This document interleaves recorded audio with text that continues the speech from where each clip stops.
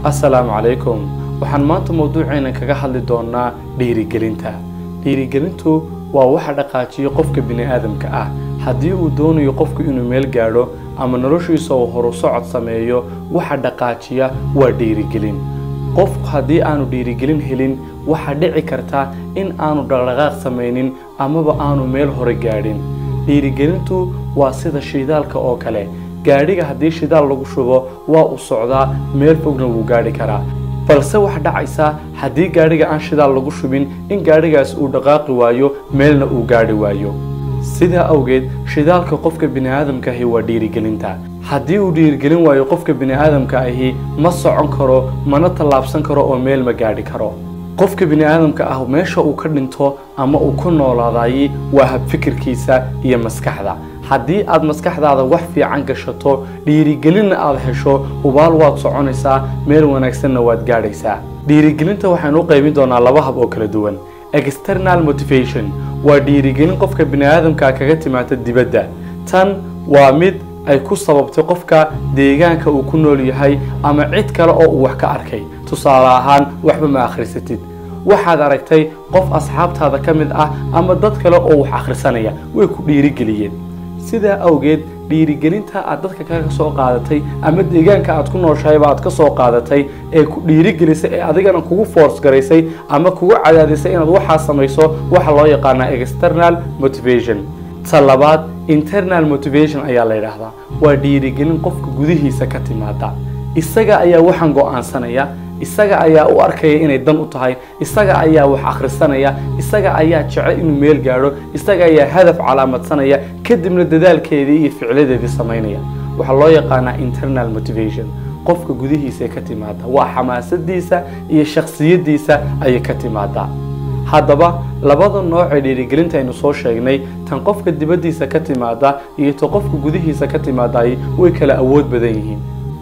Waxa awood badan dhiirigelinta qofka gudihiisa ka timaada maxaa yeelay qofkani marka uu qof kale wax kaga daydo ee external motivation uu helo dhiirigelin dibadda kaga timid qofkan waxaa la sheegaa dhiirigelinta dibadda ka timaada muddo yaro kooban ayay socotaa. Waayo qofka gudihiisa kamay imanin ama shakhsiyadiisa kamay soo go-in maalin labo saddex toddobaad bilo ayay socotaa. Aakhirkana waa iska soo gabagabowda balse dhiirigelinta qofka gudihiisa ka timaada weligeed ma dhammaato. Waayo qofkani isaga ayaa go'aansada shaygan isaga ayaa u kacay isaga ayaa waddadan qaaday isaga ayaa u arkay inay dan u tahay. Waana sababta uu qofkani u doonayo ama uu aada ugu danaynayo in uu sameeyo shaygan.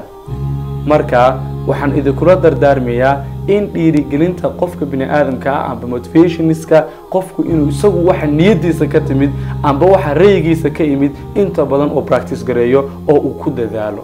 Maxaa yeelay waxa qofka kale aad kaga dayato ama waxaa deegaanka aad kaga dayato waa wax saameyn weyn aan lahayn muddo koobanna ku dhammaan kara.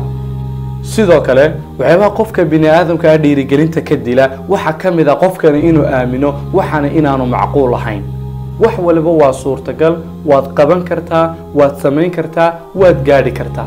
Laakiin haddii adigu noloshaada aada limid iyo xayndaab u samaysid oo aad tirahdid waxaa ma qaban kartid waxaa ma gaadhaysid.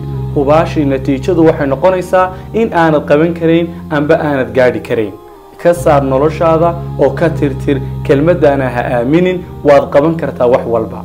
Waxaan ku soo koobayaa inaad noloshaada qaacido oga dhigto qaacidada muhiimka ah ee tidhaahdaa dream it believe it build it. Runtii qaacidadani waa qaacido aada muhiim u ah. Ku riyood oo ku hami. Shaygan inaad qaban karto ood samayn karto ku hami oo ku riyood kabacdi aamin oo rumayso waxan inaad qaban kartid oo aad samayn karto. Markaad ku hamido waa inaad rumaysataa ood aamintaa waxana inuu wax fudud yahay ood qaban kartid oo aad samayn karto. Ugu dambaynna dhis waa qaacido runtii qof kasta haddii uu isticmaalo uu ka midho dhalin karayo. Ku riyood oo ku hami rumayso oo aamin kadib dhis oo gudagal. Haddaad rabto inaad wax barato iyo haddii aad hami kale leedahayba.